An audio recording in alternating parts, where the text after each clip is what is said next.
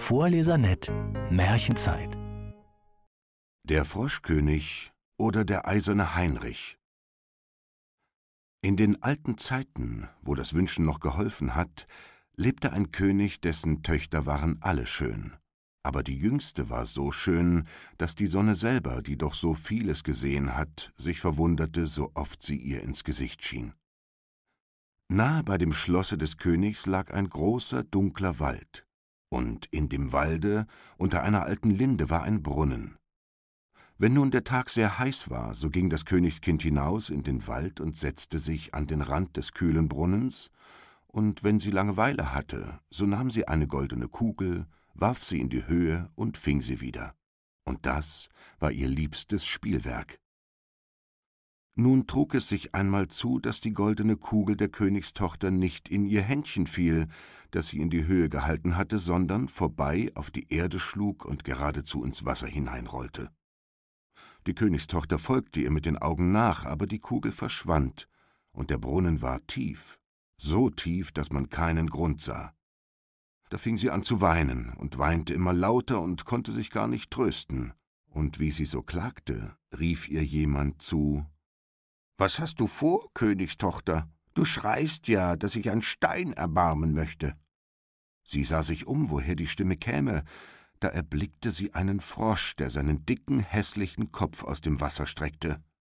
Ach, du bist's, alter Wasserpatscher, sagte sie, ich weine über meine goldene Kugel, die mir in den Brunnen hinabgefallen ist. Sei still und weine nicht, antwortete der Frosch. Ich kann dir wohl Rat schaffen, aber was gibst du mir, wenn ich dein Spielwerk wieder heraufhole? Was du haben willst, lieber Frosch, sagte sie, meine Kleider, meine Perlen und Edelsteine, auch noch die große goldene Krone, die ich trage. Der Frosch antwortete Deine Kleider, deine Perlen und Edelsteine und deine goldene Krone, die mag ich nicht, aber wenn du mich lieb haben willst, und ich soll dein Geselle und Spielkamerad sein, an deinem Tischlein neben dir sitzen, von deinem goldenen Tellerlein essen, aus deinem Becherlein trinken, in deinem Bettlein schlafen, wenn du mir das versprichst, so will ich hinuntersteigen und dir die goldene Kugel wieder heraufholen.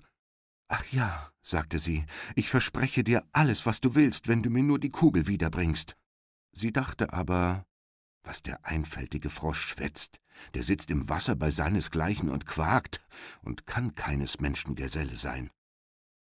Der Frosch, als er die Zusage erhalten hatte, tauchte seinen Kopf unter, sank hinab, und über ein Weilchen kam er wieder heraufgerudert, hatte die Kugel im Maul und warf sie ins Gras. Die Königstochter war voll Freude, als sie ihr schönes Spielwerk wieder erblickte, hob es auf und sprang damit fort.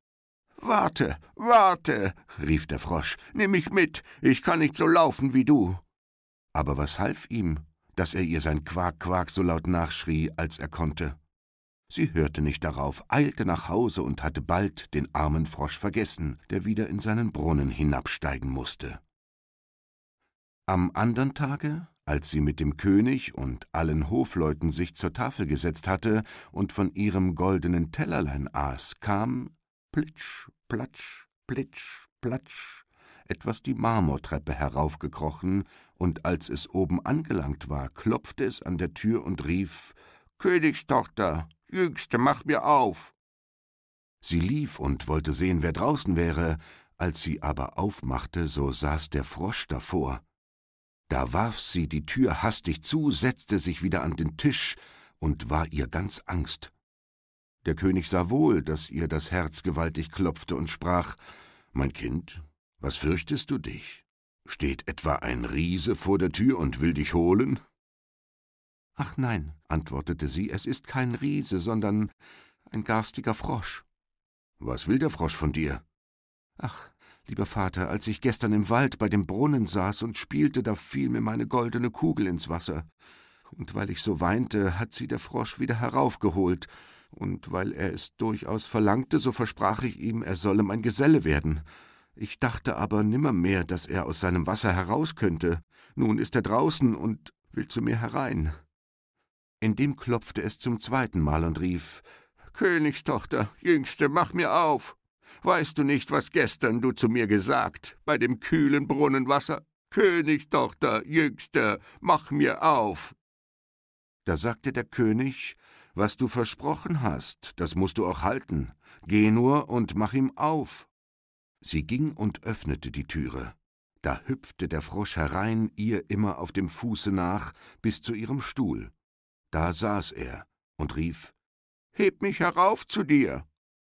Sie zauderte, bis es endlich der König befahl. Als der Frosch erst auf dem Stuhl war, wollte er auf den Tisch. Und als er da saß, sprach er, Nun schieb mir dein goldenes Tellerlein näher, damit wir zusammen essen. Das tat sie zwar, aber man sah wohl, dass sie's nicht gerne tat.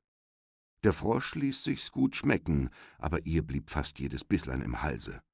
Endlich sprach er, ich habe mich satt gegessen und bin müde. Nun trag mich in dein Kämmerlein und mach dein Seidenbettlein zurecht, da wollen wir uns schlafen legen. Die Königstochter fing an zu weinen und fürchtete sich vor dem kalten Frosch, den sie nicht anzurühren getraute, und der nun in ihrem schönen, reinen Bettlein schlafen sollte. Der König aber war zornig und sprach, wer dir geholfen hat, als du in der Not warst, den sollst du hernach nicht verachten. Da packte sie ihn mit zwei Fingern, trug ihn hinauf und setzte ihn in eine Ecke.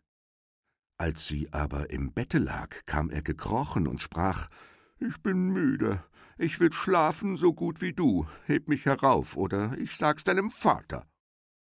Da ward sie erst bitterböse, holte ihn herauf und warf ihn aus allen Kräften wider die Wand. Nun wirst du Ruhe haben, du garstiger Frosch.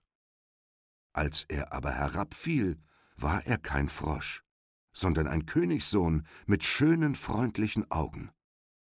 Der war nun nach ihres Vaters Willen ihr lieber Geselle und Gemahl.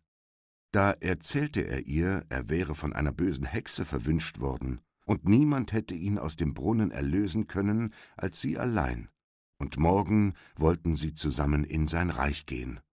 Dann schliefen sie ein und am andern Morgen, als die Sonne sie aufweckte, kam ein Wagen herangefahren, mit acht weißen Pferden bespannt.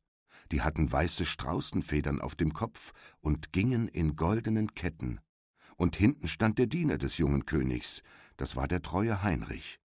Der treue Heinrich hatte sich so betrübt, als sein Herr war in einen Frosch verwandelt worden, dass er drei eiserne Bande hatte um sein Herz legen lassen, damit es ihm nicht vor Weh und Traurigkeit zersprenge.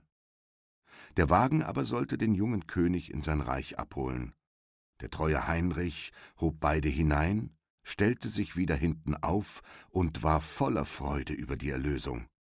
Und als sie ein Stück des Wegs gefahren waren, hörte der Königssohn, dass es hinter ihm krachte, als wäre etwas zerbrochen.